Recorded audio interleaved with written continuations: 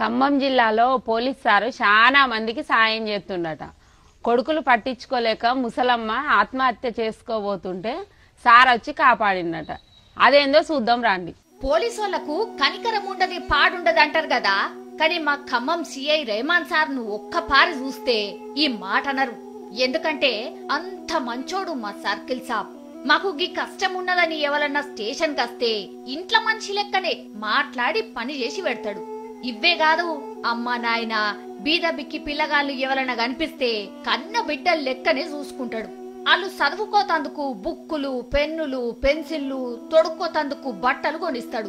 కాళ్ళు చేతులు లేనోళ్ళకు చక్రాల కుర్చీలు కూడా కొనిచ్చిండు సారు. మళ్ళీ నిన్న అవన్నిటికంటే మంచి పని ఇంకోటి చేసిండులా ఇగో ముసలవ్వని చూడుర్రి పేరు ఎంకమ్మ. ఇయ్యలనో రేపో అన్నట్టున్నది కదా. ఆమెకు నలుగురు కొడుకులున్నారట. ఎవ్వలు పట్టించుకోకపోయే వరకల్లా పానం తీసుకోతందుకు తయారైందట. నీళ్ళల వడతందుకు పోతుంటే వాగు కాడ ఎవలో చూసి సిఐ సార్కు ఫోన్ కొట్టిరట ఇక సారు ఎంబడే పోయి ఈ అమ్మను కార్లో ఎక్కించుకొని స్టేషన్కు తీసుకొచ్చి పక్క కూసోబెట్టుకొని మంచి షెడ్డ అరుచుకున్నాడు నువ్వేం బాధపడకు నీ రక్తం పంచుకు పుట్టకపోయినా గాని నీ కొడుకు అసుంటోనే అని ధైర్యం చెప్పిండు.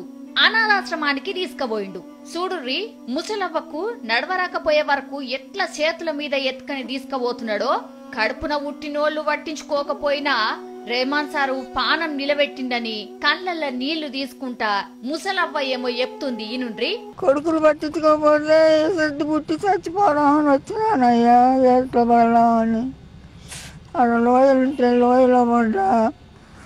పడితే అట్టా ప్రాణం పోలేదు రాళ్ళు మింగిన అట్టా పోలేదు. కొడుకులు పెట్టడం లేదని చెబితే ఆశయంలో చేర్చింది సారు. ఆ సార్కి ఐదు అండాలు ఆ ఇన్నరు కదా? అవ్వ ఏం చెప్పిందో?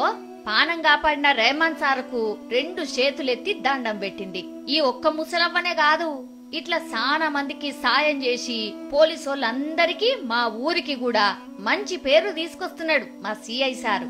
కరీం